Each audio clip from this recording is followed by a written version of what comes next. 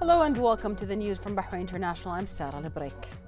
His Royal Highness the Crown Prince and Prime Minister Prince Salman bin Hamad Al Khalifa received the Minister of Foreign Affairs of the Sultanate of Oman, Sayyid Badr bin Hamad bin Hamoud Al Busaidi, following the minister's visit to the kingdom to participate in the seventh session of the Bahraini Omani Joint Ministerial Committee. At the start of the meeting, His Royal Highness welcomed the minister to Bahrain before greetings were exchanged on behalf of the Sultan of Oman, His Majesty Haytham bin Tariq Al Said, and by His Royal Highness underlining His Majesty the King's and the Sultan of Oman's support for close bilateral relations. His Royal Highness recognized the shared history and interest that underpins growing bilateral relations between the two countries and the role of the seventh session of the Bahraini Omani Joint Committee in promoting co cooperation and shared objectives. For his part, the Minister Al Busaidi expressed his appreciation for His Royal Highness's efforts to nurture further cooperation between the two nations. His Highness Sheikh Mohammed bin Salman bin Hamad Al Khalifa, the Minister of Foreign Affairs, Dr. Dr. Latif bin Rashid Al Zayani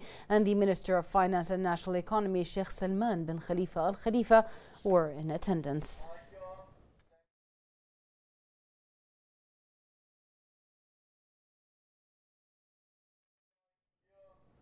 The Council of Representatives Speaker Fawzia bint Abdullah Zainal participated in the official parliamentary meeting held in the Korean capital on the occasion of her visit to South Korea.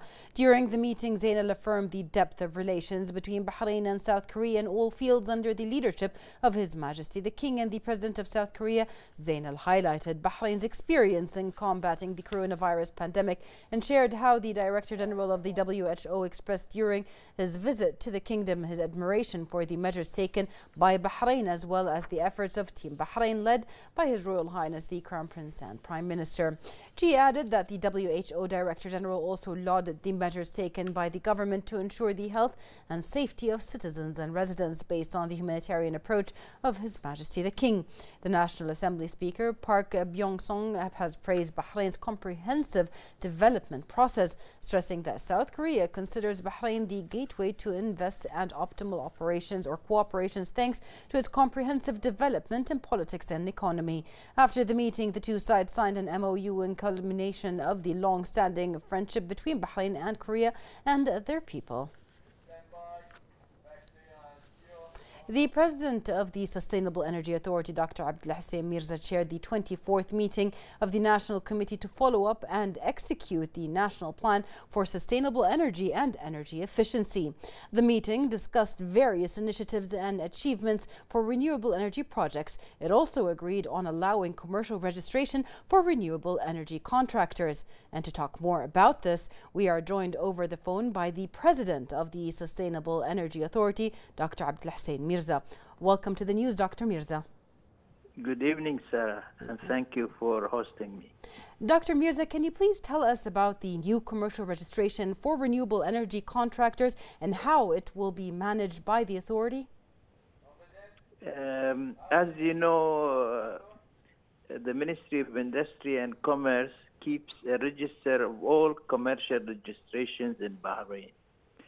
The CRs are classified under different classification numbers according to the type of business activity in different sectors of the economy.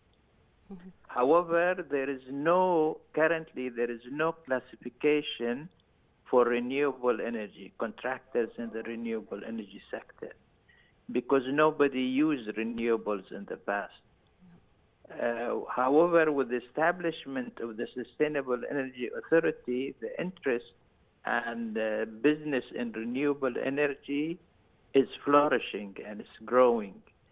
But those contractors in the renewable energy sector cannot get a CR currently to authorize them to doing renewable energy mm-hmm. because none uh, none exist in the Ministry of Industry registry. Yeah. Therefore, uh, we at the Sustainable Energy Authority recommended to the concerned Ministerial Infrastructure Committee that a new CR classification should be established for renewable energy under the classification number 332, which is installation of machinery and equipment, in the register or sigillat of the Ministry of Industry and Commerce so that uh, they, the contractors can uh, apply and get registered. The ministerial committee approved this recommendation and to regulate who will be eligible, what are the criteria for eligibility, and what classes of classification in the registry will be given, there will be a ministerial edict mm-hmm. issued by the president of the Sustainable Energy identifying these criteria and regulations. And any uh, uh, contractor in renewable energy, if he goes to the Ministry of Industry and asks to register in this classification, they will refer him to the uh, Sustainable Energy Authority, and we will check that he meets all the criteria, then give approval for him to be registered. Right. And we will keep a, a, a, register of all those who are approved as renewable energy contractors. And therefore, when people want to use any contractor, they can refer to that list. Right. That's amazing, Doctor, and that's another example of the vast cooperation between the government entities. Thank you for being with us. And that was the president of the Sustainable Energy Authority, Dr. Abdulhussein Mirza. Thank you for being with us.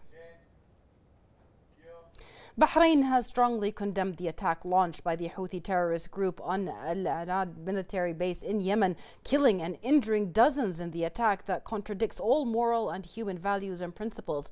In a statement, the Ministry of Foreign Affairs affirmed Bahrain's full solidarity with Yemen in its efforts to restore legitimacy and liberate the Yemeni governance from the Houthi group. It also stressed that such attacks reflect the Houthi obstinacy to escalate military attacks and destabilize security in the region.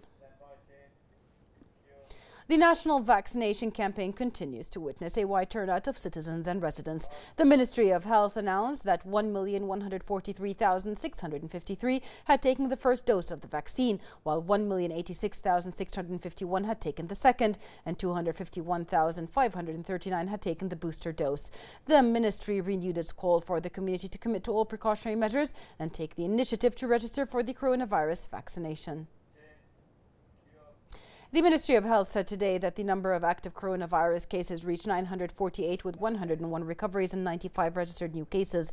39 of the new registered cases are expatriates, 43 are contacts of active cases, and 13 are travel related. The ministry urges everyone to comply with the guidelines issued by the National Task Force for combating the coronavirus.